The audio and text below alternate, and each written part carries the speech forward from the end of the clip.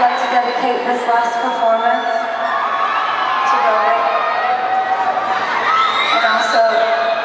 to Robert and also to the Service Legal Defense Network